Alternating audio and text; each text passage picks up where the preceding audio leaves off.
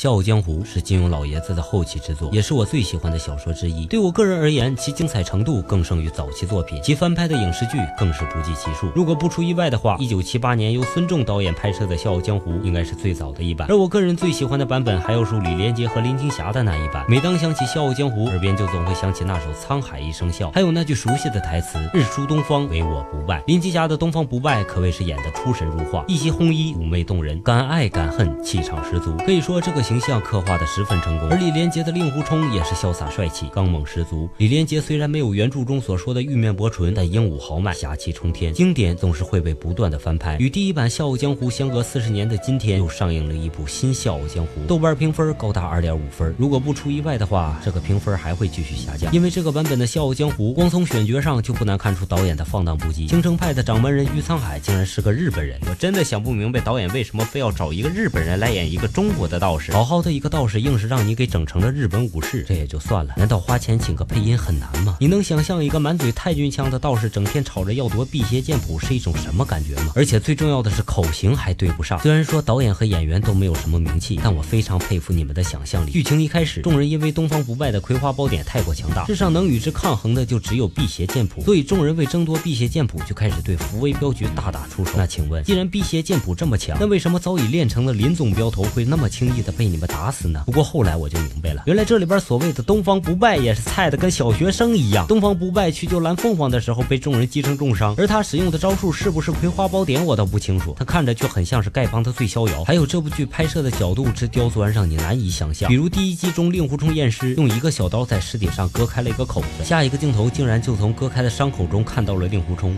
请问导演，你这是让摄影师钻进去拍的吗？难道你就不觉得从割开的伤口中看到外边的人会很奇怪吗？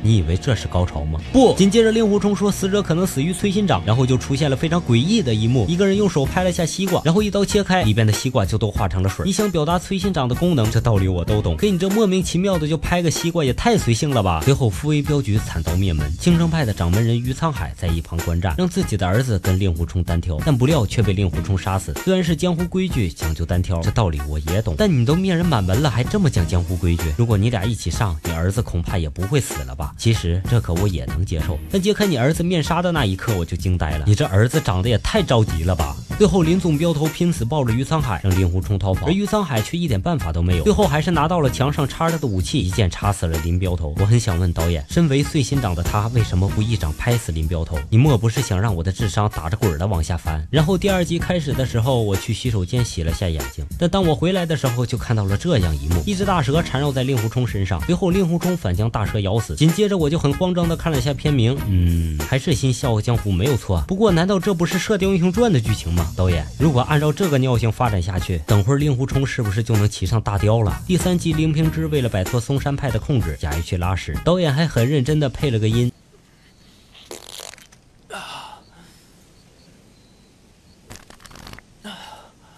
这让一边吃午饭一边看的我就显得很尴尬，挑到嘴里边的面条吃也不是，不吃也不是。我想说，导演，如果您能把这份认真多用在看看原著上面，也就不会拍成这个尿性了。饭我就不吃了，记得下次陪我。还有此剧绝对是 BGM 最魔性的电视剧之一，听着你那魔性的 BGM，甚至让我想起了葫芦娃里面弹蜘蛛丝的那个老妖怪。不得不说的是，导演你这打戏拍的也太随性了，我打赌喜羊羊的动作都比你流畅。还有我真的不明白为什么打戏非要跳来跳去，像是在玩蹦蹦床，而且你们还玩的不亦乐乎。咱们花钱钓个威亚真的很难吗？还有此剧的 bug 也是非常的随性，比如桃谷六仙变四仙，岳不群不剪鼻毛，令狐冲有头皮屑，各派掌门外加东方不败，一个个菜的还没没有小学生厉害。只有在嘴遁的时候才有想象的空间。如果是这样的话，恕我直言，我还不如去听有声小说。蓝凤凰秒变印度瑜伽高手，躲在罐子里看于沧海用崔心掌击打王元霸的心门要害，而实际上打的却是王元霸的啤酒肚。就你这个位置再往下一点，恐怕就要叫崔机长了。还有武侠片逃跑从来不用轻功飞，要跳到水里边游泳跑。唉，